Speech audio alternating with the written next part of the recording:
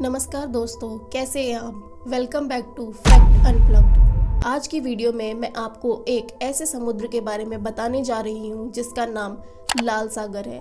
English में इसे red सी के नाम से भी जाना जाता है। इसका नाम लाल सागर क्यों पड़ा था, तथा इसके बारे में कई अन्य महत्वपूर्ण जानकारियों के बारे में मैं आपको बताऊँगी। सबसे पहले तो मैं आपको बता दूँ कि लाल सागर अफ्रीका एवं एशिया के बीच हिंद महासागर की एक नमकीन पानी की खाड़ी है। दक्षिण में अंदन की खाड़ी से लाल सागर हिंद महासागर से मिलता है। इसके साथ ही लाल सागर मिश्र और अरब इसराइल के दो भागों में बंटता है। इसका मतलब ये हुआ कि इसके एक तरफ़ मिश्र सूडान जैसे देश हैं और दूसरी तरफ़ अरब और इसराइल जैसे देश हैं। लंबा और संकीर्ण आकार का लाल सागर भूमध्य सागर के मध्य और उत्तरी पश्चिम तथा हिंद महासागर के दक्षिणी पूर्व तक फैला हुआ है। यह रेगिस्तान और अर्ध रेगिस्तानी क्षेत्रों से घिरा हुआ है, जिसमें कोई भी बड़ा ताजे पानी का प्रभाव नहीं होता। तो अब बात करते हैं इस सागर की लंबाई और चौड़ाई के बारे में।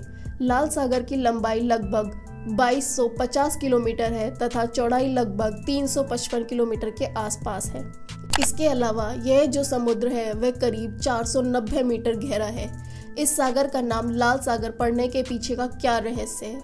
इसके बारे में अब जानते हैं। जब कोई भी व्यक्ति लाल सागर का नाम सुनता है तो उसे लगता है कि यह सागर का पानी ज़रूर लाल होता होगा। इसी कारण से इसका नाम लाल सागर पड़ा होगा।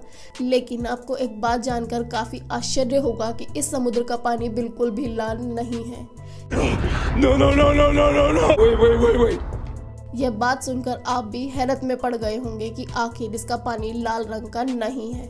तो आखिर इसे लाल सागर किस बेसिस पे और क्यों कहा जाता है? दरअसल, इस सागर को लाल सागर कहे जाने के पीछे यह रहस्य है कि इस समुद्र में ट्राइकोडेशियम इरिथियम नामक लाल शैवाल यानी के काई होती है इस सागर के जल के ऊपर तैरती है और यही जो शैवाल है, वह सागर को लाल रंग प्रदान करती है। इस शैवाल के कारण यह समुद्र लाल रंग जैसा प्रतीत होता है और इसी कारण से इस सागर को लाल सागर यानी कि रेड सी के नाम से भी जाना जाता है। तो अब हम बात करते हैं जैव विविधताओं के बारे में। लाल सागर में कई तरह के समुद्री जीव पाए जाते हैं, जैसे समुद्री कछुआ डोंग डॉल्फिन और कई स्थानीय मछली की प्रजातियाँ भी पाई जाती हैं। इसके अलावा समुद्री जीवन की एक विस्तृत श्रृंखला इस समुद्र में पाई जाती है।